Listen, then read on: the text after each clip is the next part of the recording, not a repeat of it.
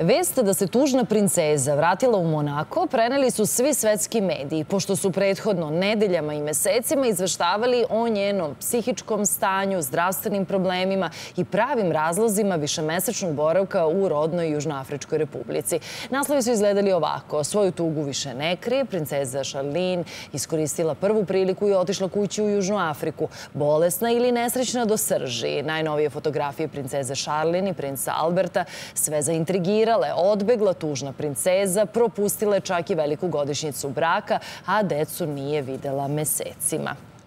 I da li je u pitanju uh, potreba za kliktanjem, za klikom više ili ovde po sredi uh, su zaista neke ozbiljne varnice u knežurskoj porodici koje se mogu odraziti na tu monarhiju? Zbog čega je ova priča intrigantna javnosti i da li je Monako ugrožen? To sve pitamo goste Probudi se. Uključuje se u naš program uživo Slobodan Marković, profesor sa Fakulteta političkih nauka i urednik magazine Gloria Boris Boris Jakić koji je moj gost u studiju. Dobro jutro, hvala vam što govorite e, za Probudi se. I evo, dakle, kad bih vas pitala, Borise, dakle, šta je od ove dve stvari potreba e, nas e, i naših kolega da dobijemo klik više i da dobijemo... Znatiželja. Znatiželja. Znatiželja, ali ne bez razloga. Mi kao profesionalci znamo šta je interesantno našoj čitalačkoj publici i ta priča koja prati prinčevski, odnosno kneževski par iz Monaka je vrlo, vrlo tiražna, odnosno vrlo čitana, naročito u svetu. Da, i intriganta poslednjih deset godina, ali o tome ćemo da... Poslednjih 15 godina da, zapravo kad, stvari, su, da. kad su oni otpočeli vezu 2005. Da.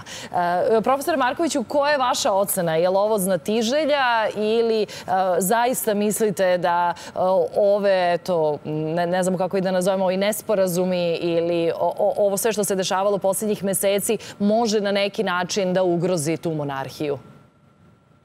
Mislim da ne može ni na neki način da ugrozi monarhiju, a ovo je deo jednog dužeg procesa medijalizacije monarhija koji je počeo 50. godina prošlog veka i ono što je zanimljivo upravo je bio i vezan za monarhiju u Monaku i za britansku monarhiju. Te dve monarhije su prve postale predmet masovnih televizijskih spektakala i ovo je sada nastavak svega toga. Sad je to naravno nešto što je već razvijeno po celom svetu, svuda da postoje monarhije. A čime, A... profesore, čime, e, šta je doprinelo tome? Dakle, e, ulazak poznate hollywoodske glumice Grace Kelly u e, porodicu, kraljevsku porodicu Monako ili u stvari shvatanje i jedne i druge, i britanske i porodice Kraljevine Monako, odnosno Kneževine Monako, da je to jedini način da opstanu?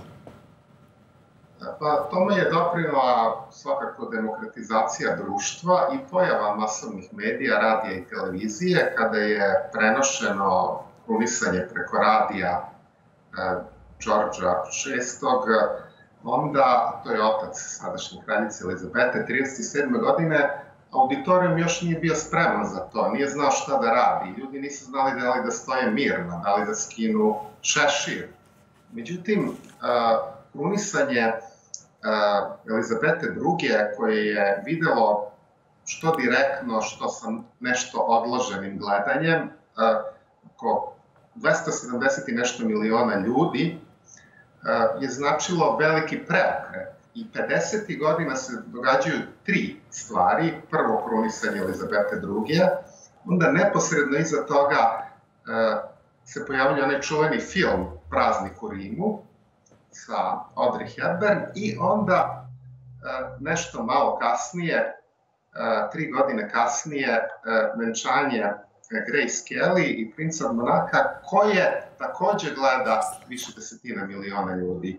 I to onda uvodi jedan novi žanar televizijski, e, novinski, a to je e, pokrivanje kraljevskih priča e, i od tada to postaje nešto, kreće medijalizacija monarhija koja je dovela do toga da danas monarhije donekle u načinu kako se predstavljaju nalikuju na sapunske opere ili ako hoćete još da iskoristim jedan novi žanra, to je reality show. Da, e pa, e, dakle, to koliko su prisutni u medijima najbolje svedoči, evo upravo list koji ja držim u novinama, dakle, čiji ste vi urednika, dakle, Glorija, dakle, evo, imamo te, sa kraljevskih dvorova su vesti svake godine. I onda ono što je u stvari simptomatično, to je što ja evo sad gledam i mi znamo sve ove aktere, dakle, znamo članove svih kraljevskih porodica, jer godinama je dovoljno da prelistamo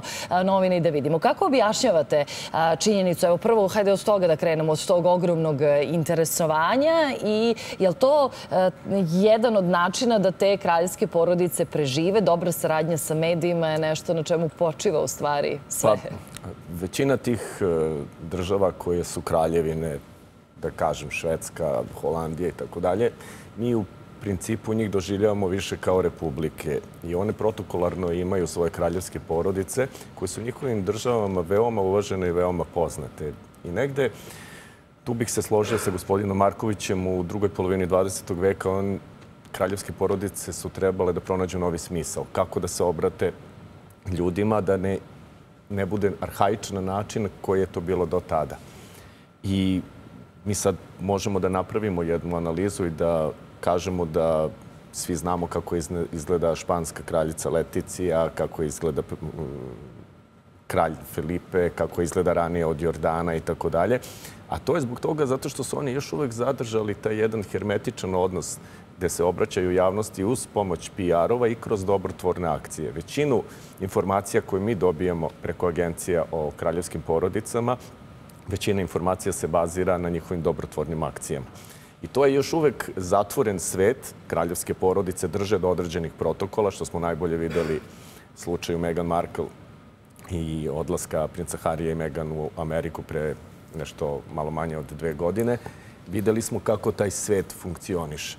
Da kraljevska porodica nije imala u Velikoj Britaniji potrebu da reaguje e, niti na pojavljivanje u Oprah Winfrey Showu, niti velikom intervju gde su se otkrile mnoge stvari koje su se događale u Buckinghamskoj palati. Da, i onda smo mi u stvari prinuđeni da čitamo između redova, da tumačimo Instagram objave, da tumačimo nečije pojavljivanje, odnosno odsustvo. Tu bih napravio paralelu između Charlene i e, Meghan Markle Obe su atipične, dolaze iz građanskog sveta i obe su imale karijere pre nego što su postale princeze.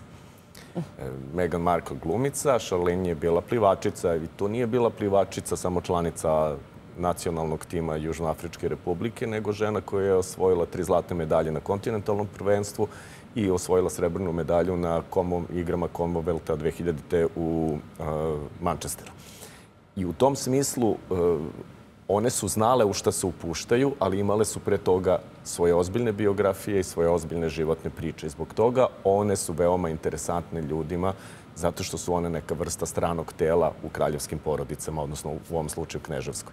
Mhm. I hajde da, se osnovimo na ovo što se dešava poslednjih dakle, meseci, a evo, dakle, sad je to dobilo e, epilog. E, na koji način e, je sada, eto, dakle, ugrožena i taj brak i na koji način onda se to odražava na krunu ili je to samo pitanje, eto, medijskih natpisa? Pričajući o Albertu i Charlene, trebalo bi napomenuti da njihova veza od samog starta je najblaže rečeno bila turbulentna, zato što 2005. i 2006. kad su oni počeli ozbiljno, odnosno priznali da se zabavljaju, e, princ Albert se suočavao sa dva dokazivanja očinstva, odnosno dva sudska procesa koje su protiv njega pokrenule žene koje su tvrdile da im je napravio dete.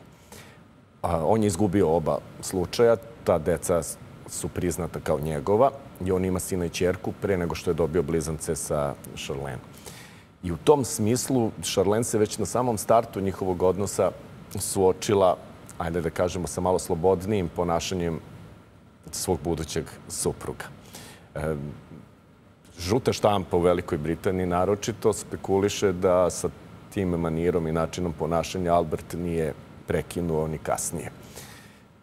Poznato je da je pre mesec i po, kada je bila premijera filma o Jamesu Bondu u Monaku, on bio vrlo intiman. Tako je to protumačeno sa Sharon Stone, koja je bila njegova gošća na premijeri, iako mu je supruga bila u Južnoafričkoj republici. Ali mislim da uh, u njihovom braku ne postoji kriza koja će proizvesti razvod. Iz kog razloga? Zato što gledajući objave Šarlin, vi vidite da je ona 2. jula e, veliku količinu ljubavi uputila svom suprugu, podsjećajući se na desetogodišnjicu sklapanja e, crkvenog braka i podsjećajući i zahvaljujući se mnogim ljudima i podsjećajući na taj divan trenutak u svom životu.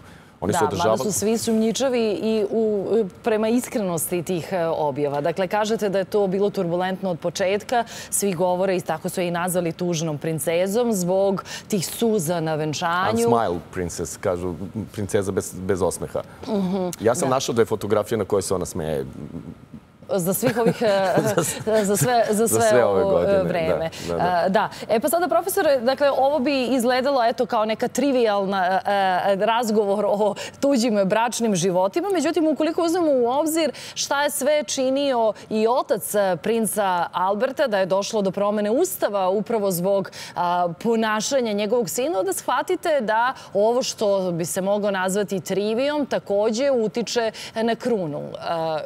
Slažete li se sa tim?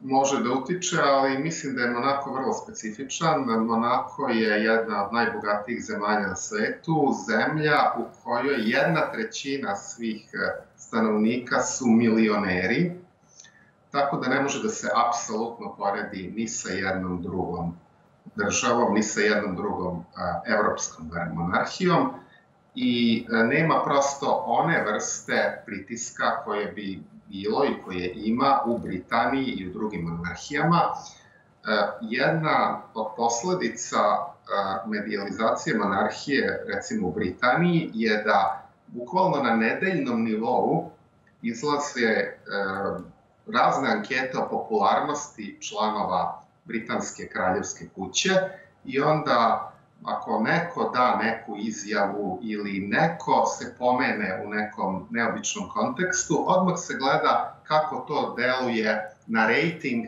pojedinog člana britanske kraljevske kuće, pa se čak u javnosti spekuliše da li je princ Charles dovoljno popularan, da li treba čak možda promeniti redosled nasleđivanja i tako dalje. Znači, prosto sve ima neke implikacije, a to znači da su članovi kraljevske kuće tamo pod nedeljnim pritiskom, pod svakodnevnim pritiskom da svaka njih, svako njihovo javno pojavljivanje utiče i na njihovu sliku potencijalno, A mislite da se ovako ponašanje, e, dakle, e, nikako ne može reflektovati da Monako nije u tom smislu ranjiv kao što je, kao eto što kažete da je ranjiva, ali da, da je pažljiva britanska kruna?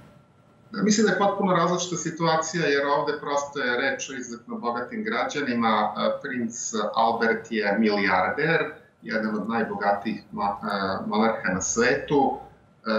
Cela ta kneževina zapravo je i postala ono što je postala zahvaljujući jednom akcionarskom društvu SBM koje je osnovano pre nekih 150 godina i koje je počelo da vodi te e, kazine po kojima je poznata kneževina i pre toga Kneževina zapravo je bila, opisivana je kao jedno mesto koje e, je činilo golo kamenje i e, drva limuna, a od toga, od dakle, jedne bede, postala je jedna, jedna od najbogatijih zona na svetu.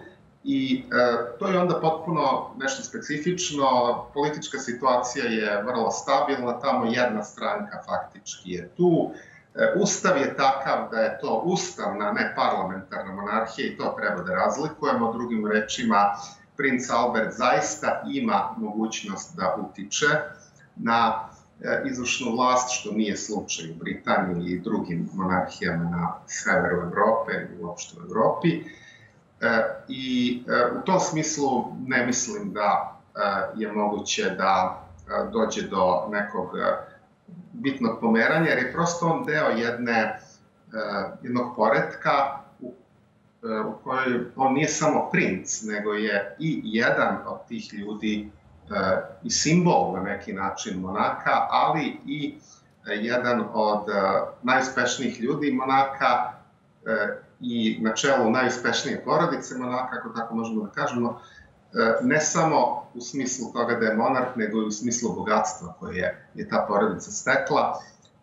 Tako A da, spomenuli ste, mislim... spomenuli ste Ustav, profesore, spomenuli ste Ustav. A, samo treba napomenuti da je upravo otac princa a, Alberta promenio Ustav pre nekoliko godina baš zbog takvog ponašanja svog sina, odnosno zbog činjenice da je tad bio u nekim 40. godinama, da nije bio oženjen, da nije imao zakonsko dete, da je imao do tada samo vambračnu decu i promenio je Ustav ne bili zaštitio nasledstvo krune da krunu mogu da naslede potomci njegovih sestara, odnosno njegovih čerki od ovaj, dakle onda ipak da onda ipak shvatamo da taj privatni život tih naslednika utiče i na krunu. Apsolutno, ali sama ta činjenica vam u stvari pokazuje koliko je tu stabilna monarhija, jer i stabilan poredak, kada tako nešto može da se uradi, nisam siguran da bi u drugim monarhijama na takav način mogli da se menjaju redosledi nasleđivanja. Tako da, ipak ostajem pri toj oceni da je to specifična monarhija koja se upravo zbog ovog razloga bogatstva Prinčevog i E, bogatstva stanovnika Monaka izdvaja od svih drugih monarhije Evrope. Da, e, pa, da, profesor je rekao zbog čega je specifična, ali takođe i sad na osnovu svega onoga što smo mogli da pročitamo u svim svetskim medijima jeste specifična. Evo, na primjer, samo ovih poslednjih nekoliko meseci koliko je princeza bila odsutna. To takođe nije svojstveno, dakle, takva razdvojenost i od partnera i od dece. Trebalo bi možda auditorijumu objasniti šta se događalo u poslednjih sedam meseci, odnosno od proleća 2021. kada je Charlene otišla u rodnu, odnosno Južnoafričku republiku, zemlju gde se formirala. Ona je inače rođena u Zimbabveu. Ona je otišla radi nekih e, humanitarnih aktivnosti, zadržala se tamo sa obrazloženjem zato što je dobila infekciju uha. Onda su se pojavile drugačije informacije ponovo u britanskim tabloidima da ta infekcija je zapravo infekcija koja se nalazila na njenoj e, nosnoj kosti koja je trebala ona zbog transplantacije zuba da ponovo radi, odnosno da regeneriše. I zbog toga je imala četiri operacije u ovom periodu od aprila 2021. do jučerašnjeg dana, odnosno dok da, nije se vratila. I navodno nije mogla da leti, da leti tako, tako je. Da. I, I na visinama iznad 6000 metara je bilo zabranjeno leteti. Međutim, u tom periodu, krajem avgusta, 25. avgusta, princ Albert je sa decom, Gabrielom Nježakom, otišao u posetu svoje supruzi i to su fotografije sreće, ljubavi, gde su oni zagrljeni i tako dalje. U njenom psihološkom... Mada po njenom izrazu lica mi ne možemo da vidimo tu sreću. To je ono što, što će mnogi reći. Da li je ovde da. pitanju neki disfunkcionalni odnos, da li je u pitanju e, neko zlostavljanje ili već... E, ono što bih ponovio... Nemogućnost izbora u stvari. Je, to je... ona je znala u šta ulazi. I ona je bila pripremana za ulogu princeze, odnosno kneginje od Monaka. Kao što je i Meghan Markle prošla osam meseci rada sa stručnjacima u PR svetu koji su bliski kruni. Jedan od njih je i nama poznati Alistair Campbell, bivši savjetnik i medija spinner najveći na svetu Tonija Blera. Bio je pre nekoliko godina gosti Beograda. On je isto takođe ovaj, učestvovao u projekciji Meghan Markle kao princeze kako bi ona trebalo po viđenju britanske krune da se pojavlja u javnosti. E, sećate se njene izjave da je ona bila da se osjećala kao ptica zatočena u kavezu. Mislim da i Charlene ima problem e, slične prirode zato što je imala ozbiljan život, ozbiljnu karijeru, ozbiljna poznanstva i pre nego što Ali da li to opravdanje može da bude ona je znala u šta ulazi? Pa u principu nije opravdanje, nego vam samo kažem da je ona sigurno dobro razmišljala šta dobija ulaskom u braka, šta gubi.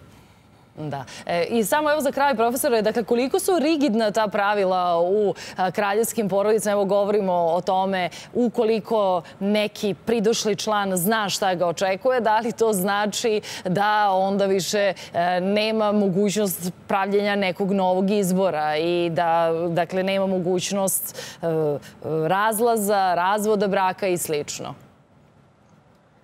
Znate kako, problem monarhije je što se oni, na, oni nalaze između dva pola, između istorijskog simbolizma i želje da se prikažu da su zapravo oni na neki način slični, isti kao svi drugi građani. Sad između ta dva pola se kreće monarhije i njihovo prikazivanje i nastojanje PR-ova da ih prikažu bliskima, vremenu u kome živimo, tako da sasvim sigurno je da će se one dalje demokratizovati i da će sve više i više neke stvari koje ranije nisu bile prihvatljive, sve više i više biti prihvatane, tako da ono što je počelo 50. godina iz decenije u deceniju ne samo da se ne zaustavlja, nego se nastavlja, a to je na neki način uz demokratizaciju društva ide i e, neka vrsta demokratizacije monarhija, pa jedan deo svega toga je i da je postala potpuno normalna stvar da princeze, e, kraljice budu ne samo iz kraljevskih kuća, nego i izvan kraljevskih kuća, da je to sad već postalo maltene normalna stvar. E, I možemo očekivati sigurno i da će u tom smislu i neke druge stvari koje su bile ranije nezamislive, sve više i više postojati deo e, svakodnevice kraljevske kuće, dokle god monarhije e, budu postojale. Hvala vam mnogo što ste učestvovali u e, mom razgovoru. Dakle, koja je vaša na kraju procena e, kako će, kako će sada izgledati i, kakve ćemo e, tekstove, odnosno dobijati narednih dana? Mislite da će, jel mislite u stvari da i kraljevska porodica sada svesna, odnosno knežovska, da je neophodno da da neki materijal javnosti posle svega ili oni se oni ne obaziru na to? Nikakav materijal neće se obazirati plasirati, ali će vrlo pažljivo kroz svoj PR tim plasirati informaciju kako je sreća nastanila njihovu porodicu, odnosno njihovu kraljevsku palatu e, kad se vratila princeza Charlene s jedne strane, a zakazan je za mart naredne godine bal ruža tradicionalni koji je dve godine odlagan u Monaku humanitarnog karaktera, gde jednu od vodećih uloga ima princeza, odnosno kneginja Charlene, tako da to će nam biti prva prolazna tačka gde ćemo videti koliko je ljubav između Alberta i Charlene i dalje čvrsta. Da, pokazati svega toga. Hvala vam mnogo što ste ovoga jutra bili moji gosti.